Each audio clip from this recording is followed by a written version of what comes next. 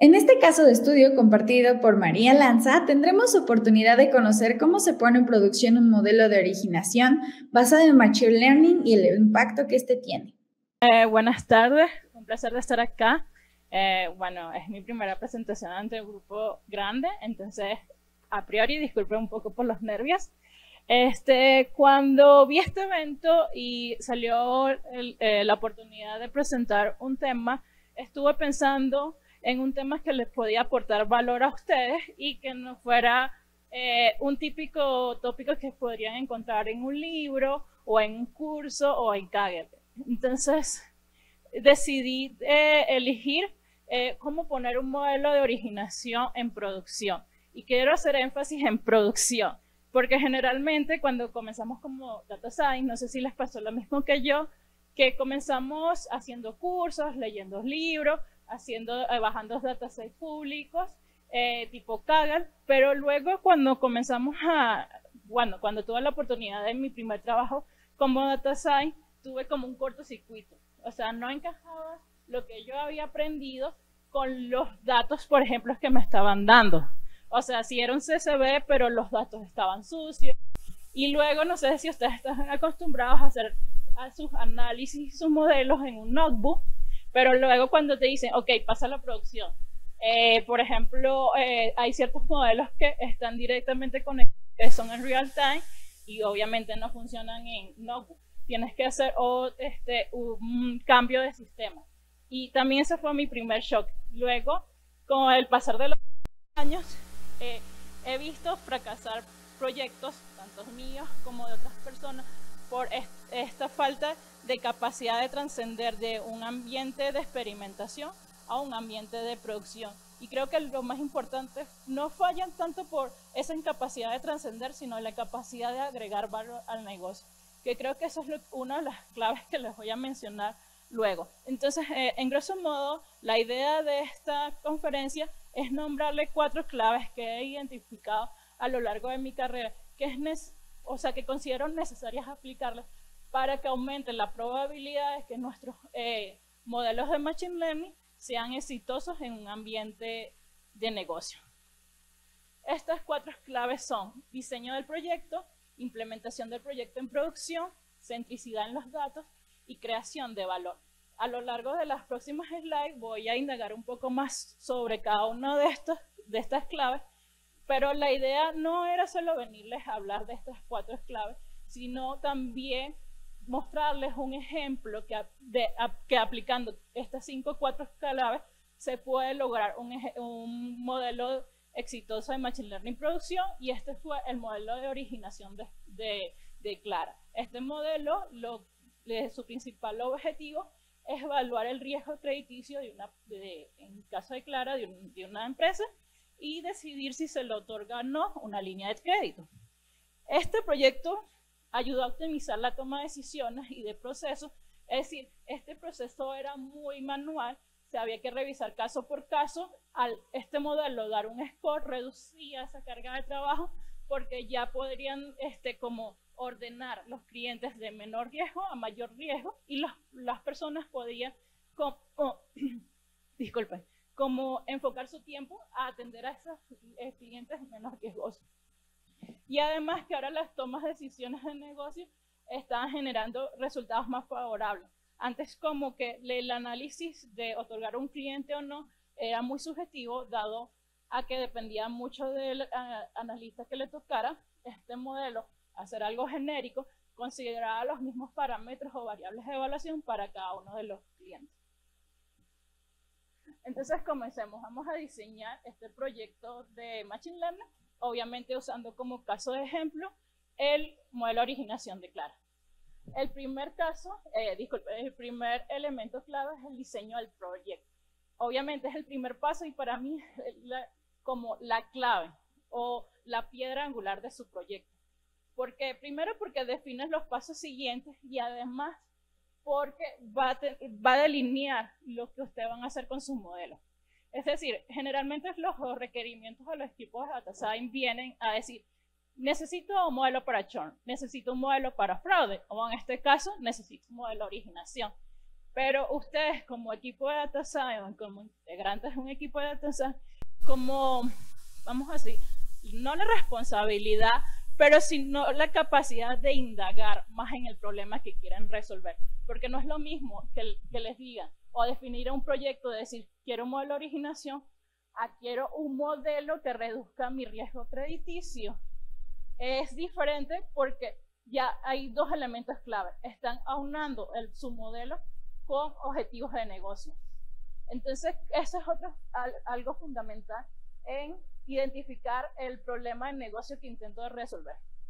Eh, por ejemplo, me pasó en mi primer trabajo que tenía que hacer un, un modelo para clasificar tickets, es decir, si eran graves o de leve, y así asignárselos a analistas. Y yo, ok, súper emocionada, dije, no, quiero hacer un modelo de clasificación, correas neuronales y todo súper fancy, pero no había entendido el problema. O sea, el problema era reducir el tiempo de operación que, este, que se dedicaba a reasignar esos tickets. Entonces, no tenía técnicas para medir que mi modelo funcionaba. Era una solución factible a la solución este, eh, actual que ellos tenían. Entonces, eso es una parte importante, alinear sus, sus objetivos con los de negocio. Obviamente, como data science tenemos objetivos del modelo, por ejemplo, aumentar eh, la accuracy, aumentar el, el AUC, pero creo que es importante recordar que nosotros no somos los consumidores finales del modelo. O sea, nosotros creamos una herramienta y creo que eso es importante. Y aquí algo que me gusta es, también importante a la hora de eh, eh, qué problema vamos a resolver, también tener expectativas reales. Es decir, como ya les conté, me emocioné como mi primer modelo y, y no, es necesario y creo que es importante que los modelos de Machine Learning no son una solución mágica a los problemas de negocio, son una herramienta. Entonces muchas veces los problemas, este, cuando tengo que definir un problema, trato de usar palabras como minimizar, maximizar y no nunca eh, eliminar, o sea, porque el riesgo crediticio, o sea, no va a ser cero. Lo que voy a tratar es que si, por ejemplo, la probabilidad de default hoy es 10% con mi modelo, este, bajarla a un 5%. Entonces es importante como tener expectativas realistas porque también en función de estas expectativas que ustedes mismos definan, van a evaluar a su proyecto. Luego, ¿qué algoritmos son más adecuados para el problema que intento resolver? Y aquí es importante porque eh, con, con, el avance de la tecnología y con los modelos de Machine Learning, este, hay modelos muy robustos, eh, no sé, Reinforcement Learning, Deep Learning, pero es importante que primero defina el grado de madurez que tiene su empresa en cuanto a modelos de Machine Learning y Data Science. Por ejemplo, si están diseñando un modelo para una empresa que trabajaba con simples reglas y de repente quieren hacer la transición a Data Science y presentarles un modelo de Deep Learning, creo que es muy complejo. O sea, porque luego también es el proceso de cómo usarlo, de la implementación, eh, de explicarles a las personas cómo funcionan esos modelos. Y ahí ustedes tienen que evaluar el trade-off entre lograr, lograr interpretabilidad, es decir, explicarles a los usuarios finales cómo los modelos están tomando decisiones o tener modelos más robustos. Eh, y bueno, y finalmente, como para cerrar esta parte del diseño del proyecto, ¿Qué métricas y técnicas de negocio usaré para evaluar el, rendimiento de mi modelo? Esto es importante porque, como les dije, como, eh, como ya tenemos a priori métricas definidas para evaluar modelos de regresión, modelos de clasificación.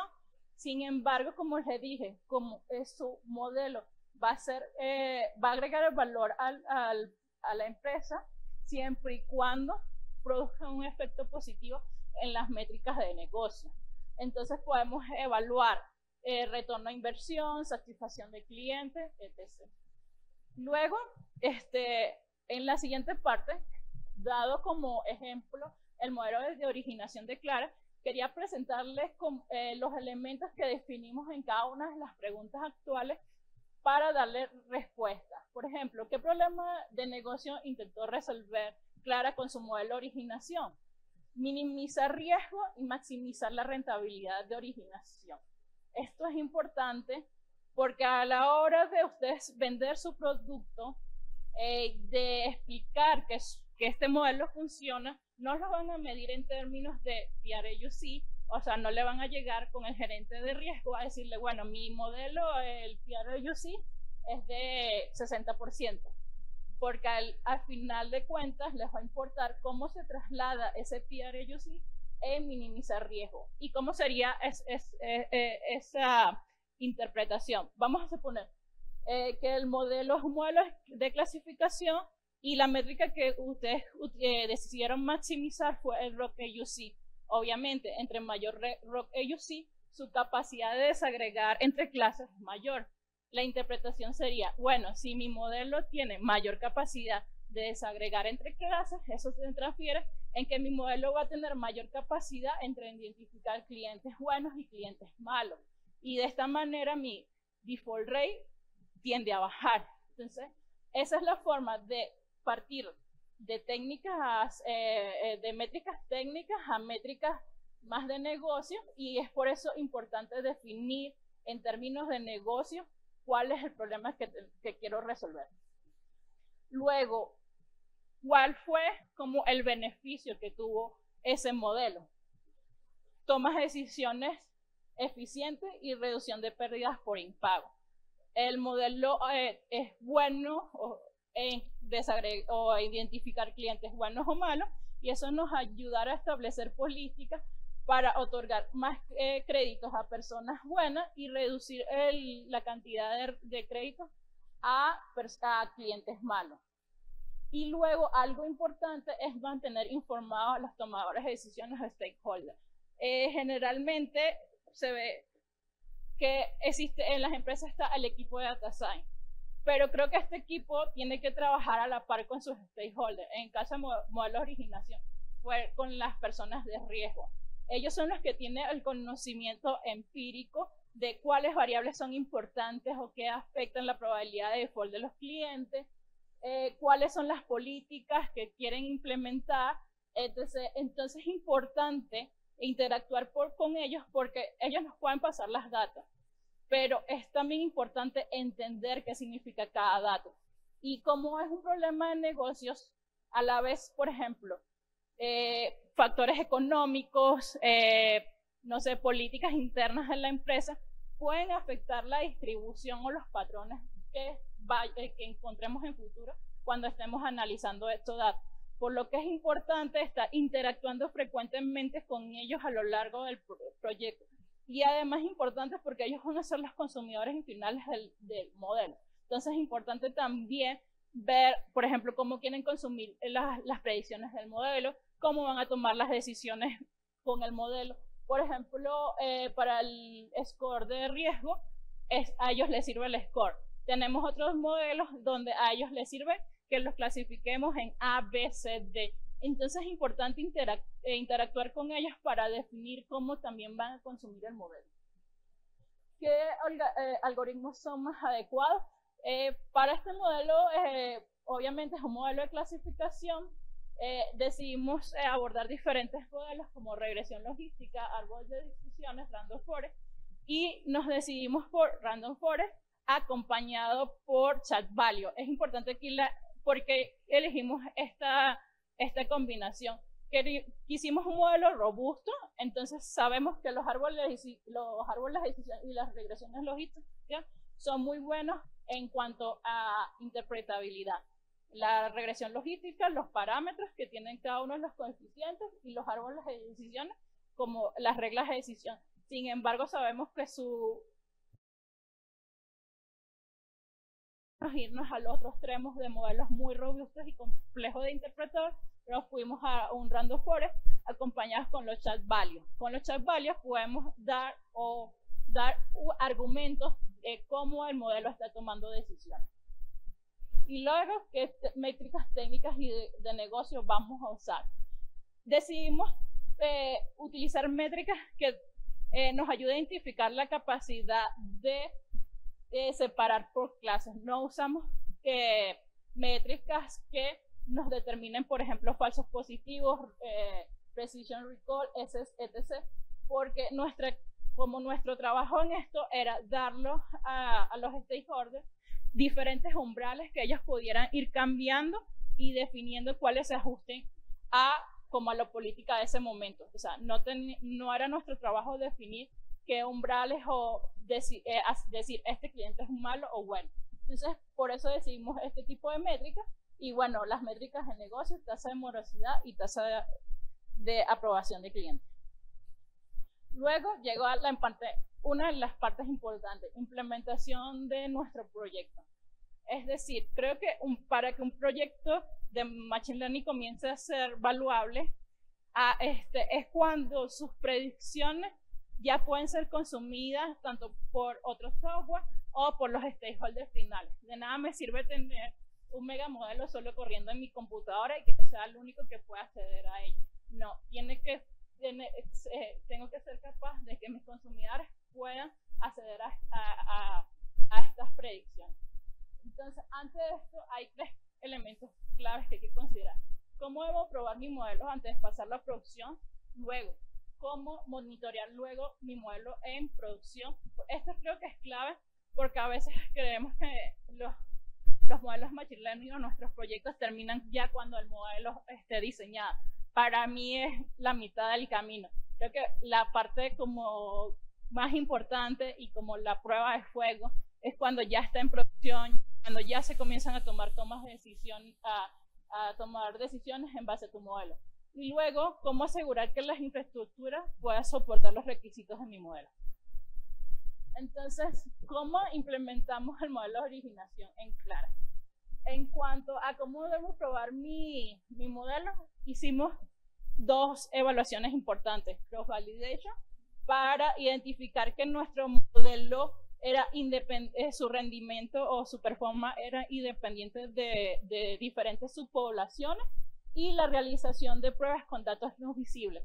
Es decir, sabes que eh, nosotros utilizamos dataset para entrenar, para testing, y ahí eh, aplicamos el feature selection y el hiperparámetro.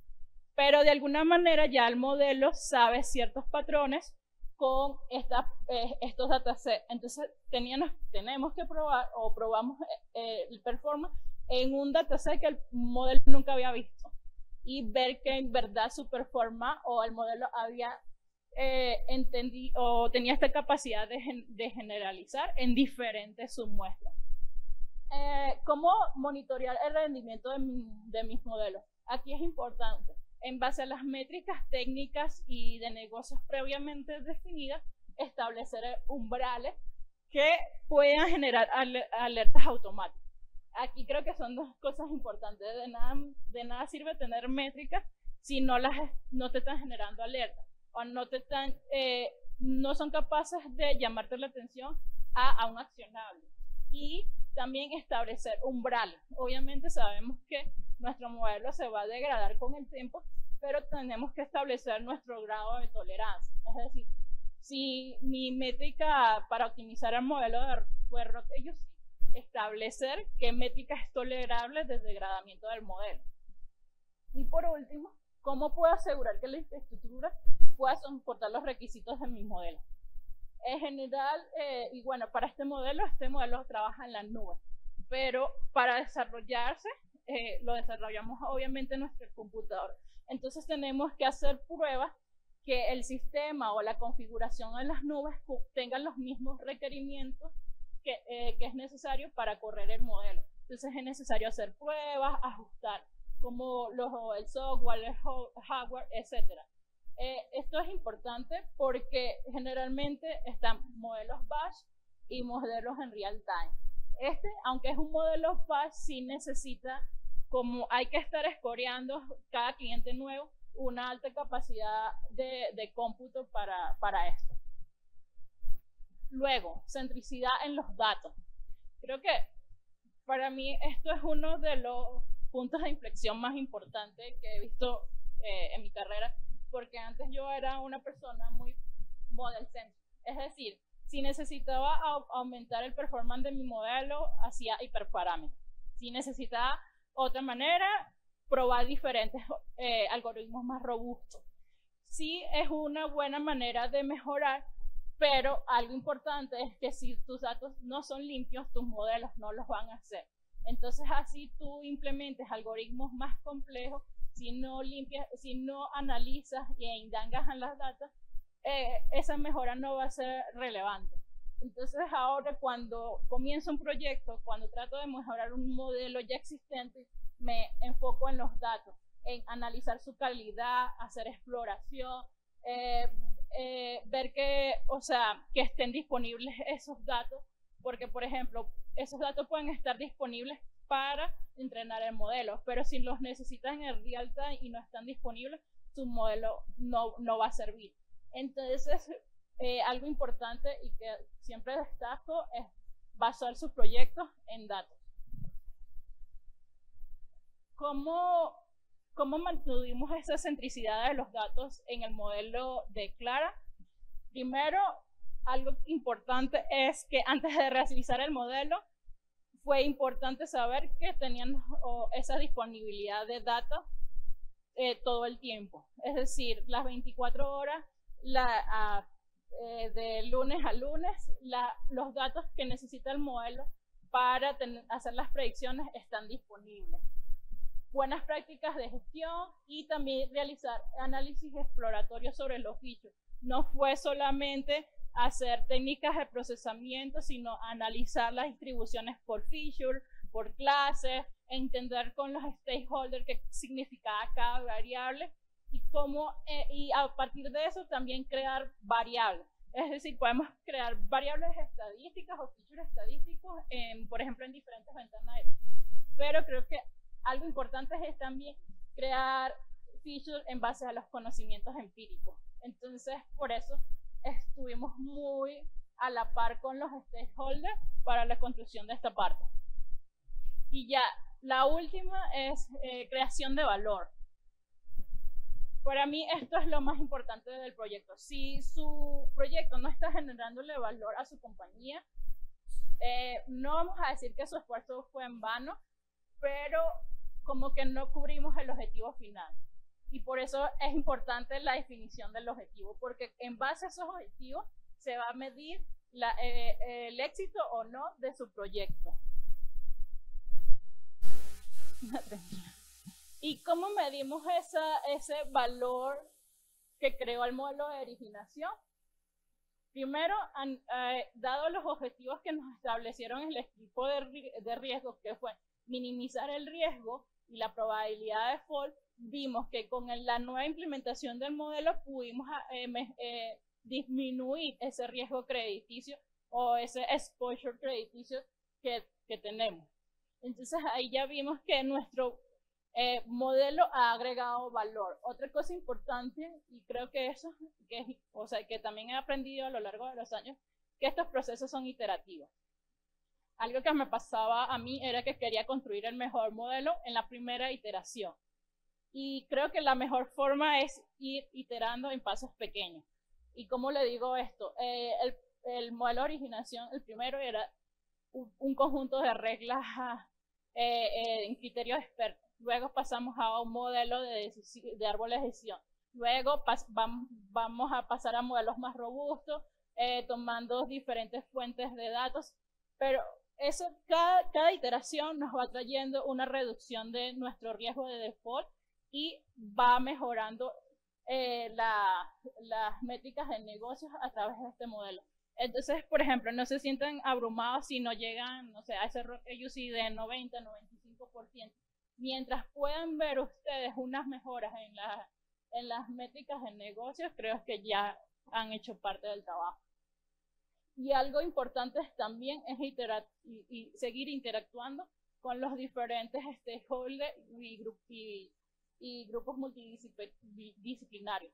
Es así, por ejemplo, este, por ejemplo, eh, como saben, las políticas de negocios van cambiando en, casos de crédito, hay veces donde se quiere aprobar más créditos, otros menos.